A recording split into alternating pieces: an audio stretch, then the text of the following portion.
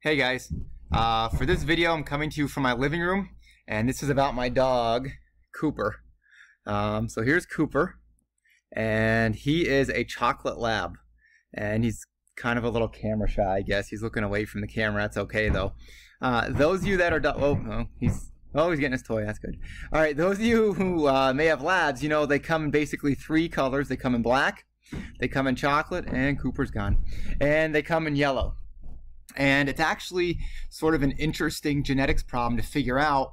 You can actually predict what color Labrador puppies will come out based on their parents. And that's what I wanted to show you guys today. All right, so how is coat color and labs controlled? Okay, this is something called epistasis. All right, and here we go. Epistasis is where there are two genotypes that are controlling a single phenotype. All right, coat color and labs is a great example of this. There are other examples, but again, two separate genotypes, depending on what the alleles are for each genotype, controlling one phenotype. Okay, let me show you what this looks like a little bit. So here we have our genotypes. You guys can see we have uh, black fur, black chocolate fur, I should say, represented by the Bs.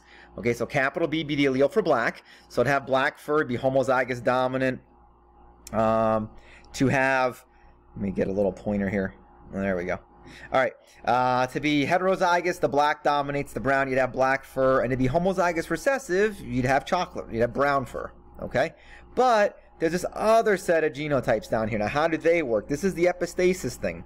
These E's, the gene represent these alleles represented by the E's, they will override those B alleles. Let me show you what I mean. If the dog also gets uh, homozygous dominant for for the E gene, it will have no yellow genes, and basically it defaults to whatever these B genes are indicating. Okay, so you have a black or a chocolate lab. All right. If that E gene is heterozygous, there'll be a carrier for the yellow gene, but still defaults back up to this. Okay, this gene is controlling their black or their chocolate.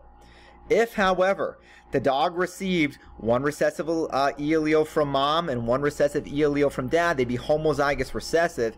That will then mask and cover up and make the dog yellow and will cover up whatever alleles are up here and make it possibly black or um, brown. That won't matter because the E takes over and that will uh, cover up that and you'll have a yellow lab. All right. So what does all that mean? Okay, before we get to that, let me switch to a different screen here. Before we get to that, take a look at this. So based on what I had just told you, let me get rid of some of these annotations I had on here. Um, to have black fur, okay, you, well, you have to have at least one capital B, so you can be homozygous dominant for that, or you can be heterozygous for that. And then over here at this E, you just, you cannot be homozygous recessive. Being homozygous recessive would make it yellow, so anything could be at that second position. Okay, that's how you would have black fur uh, to be a, uh, a Labrador Retriever. All right, and how can you have chocolate fur, or brown fur, I guess I should say. So this is my dog Cooper, who you guys saw wasn't really having being on the video, but they have to be homozygous recessive for that B gene, and then again, they must be heterozygous for that yellow gene. Um, so they'd be a carrier for that, indicated by, or they could be a carrier or not. You know, you guys know what this means. This means they could be this, or they could be heterozygous for that E gene. That's what that's talking about when I leave that little underscore mark there. I think you guys remember that. Finally, how do you be a yellow lab? Well, it really doesn't matter what's at that B position. It's the fact that they are homozygous recessive for that E gene. That's what makes them a yellow lab. Okay, so you guys know they could be, they could have, it could be, uh, uh, sorry, homozygous dominant there and be this. They could be heterozygous, and it looks like they're going to be black lab, but they're yellow because that took over and made them, or sorry, looks like they're going to be black. That took over and made them yellow. Or it could look like they're going to be a chocolate lab like Cooper, but they're not because that E gene dominates and covers up whatever's sitting at that B position. Okay, so those are our ways to be yellow. Okay, those are our ways to be chocolate. And you guys know what this up here means, okay? This means they could be, actually have quite a few options here. You could be this. That dog could be that. Um, I guess that's really it. Oh no, sorry. They could be heterozygous for the B. Okay, so lots of options here. So let's practice one, and I'll leave one for you all to practice on your own. Guys, this is totally optional. Uh, if it no interest to you, it's okay. It's just a good way to review the Mendelian genetics and just put a different spin on things. So let's take a look down here. Let me get rid of these. All right, so we need a heterozygous black lab. Okay, so heterozygous, I need one of each B, who is heterozygous for yellow. Okay, there we go. With a chocolate lab, well, the only way to be chocolate is to have none of those dominant black alleles, who's also heterozygous for yellow. All right, that's our cross. Now, this looks like a dihybrid, and you have to treat it like a dihybrid. So, I'm not going to go through how to make the alleles. I'm just going to do it. Okay? Um, consult your notes if you're unsure of how to do this, or send me an email, okay? Uh, and I could break it down for you. But just remember, for this parent, we need to combine every B with every E, okay? So I could have that B with that E, and that would be on the top. I could have the capital B with the lowercase e, lowercase b, capital E, and lowercase b, lowercase. And over here, I'm going to repeat the same thing twice, okay? I could have the first B with the first E, first B with the second E, and it just repeats with that second B. All right, so what do we have here? I like to keep my E's and my B's together because it just makes things a little bit easier.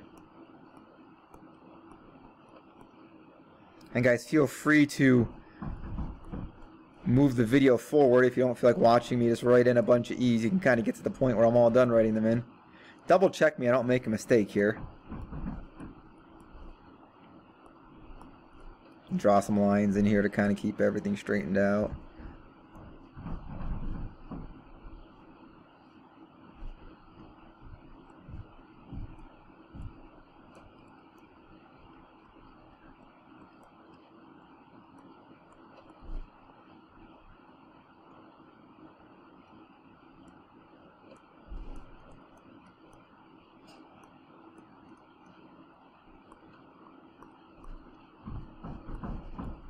Okay, so there's our genotypes. Now let me just quickly skim through this, because you guys know I sometimes make mistakes on these, and I don't have you guys right here to let me know. So let me take a look here. I mean, it looks pretty good. Okay, so that's what our possible genotypes. Let me move this out here. Let's take a look at our phenotypes here. So, uh, let me change colors here and do a highlighter maybe. Um, let me highlight all the ones that'll be yellow. So all the ones that'll be yellow will have they'll be uh, heterozygous recessive for that E uh, genotype, okay? So these are the ones that are yellow. Oh, that guy's yellow. And that's it. Okay, so what would we say? Let's just do that one first. That one's easy, right? Let's say the chance of having a yellow lab is 4 out of 16, which you guys know is the same thing as saying 1 out of 4. Okay, so 25% chance of having a yellow lab. All right, let's take, let's do chocolate next. We know to be chocolate lab, uh, there have to be two lowercase b's, and we've already ruled out the yellow with the e stuff, okay? So I'm just going to scan for lowercase, uh, lowercase b's, and so I got one here, two, three, four, five, six, it's like six, right? So six out of 16, and you guys, you could break it down if you want to. You could say, you know, three out of eight if you want, uh, for being chocolate. And to be a black lab, it should be whatever is left. Well, let's just double check it. So we need at least one capital B and at least one capital E. So one, two, three, four, five, six, not those. Six. Six out of 16, which is, again, 3 out of 8. Let's double check. 6 plus 6 is 12, plus 4 is 16. I counted all the boxes. Uh, it looks to be right. So, guys, those would be the chances if you were to cross those two dogs, and I'll just circle the ones out of 16, that way we can add them up and see that I didn't miss any here. Those would be the chances of having these different kinds of Labradors. Okay? So, guys, that's epistasis. Uh, two or more genotypes controlling the same phenotype. I think it's interesting. I just want to give you guys a little bit of practice. This definitely practices the Mendelian genetics with you as well as uh, doing that dihybrid cross. So let me go back to this and give you guys one to try. Okay, so guys, here's one for you to practice. I want you to cross a yellow lab who's heterozygous for the black genotype with a homozygous black lab that is a carrier for the yellow gene. Okay, so go ahead and try that one out, and I'll get the answer posted to you, um, you know, maybe tomorrow. All right, and as you guys can tell, Cooper is super excited about being in this video. All right, uh, guys, keep checking class, and I'll keep putting new things up there. Email me with any concerns that you may have.